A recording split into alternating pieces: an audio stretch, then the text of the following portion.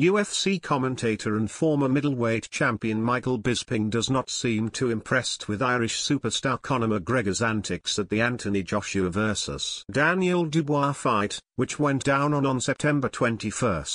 McGregor entered the arena with a cigar in his mouth and was later seen reacting in an extremely animated manner during the heavyweight clash between AJ and Dubois.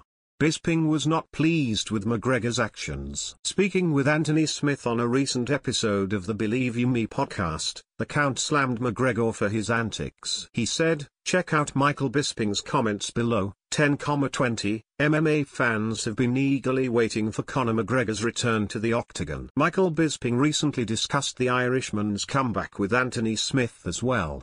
Bisping stated that he was not too interested in discussing McGregor's return to the octagon until an official announcement regarding the same gets made.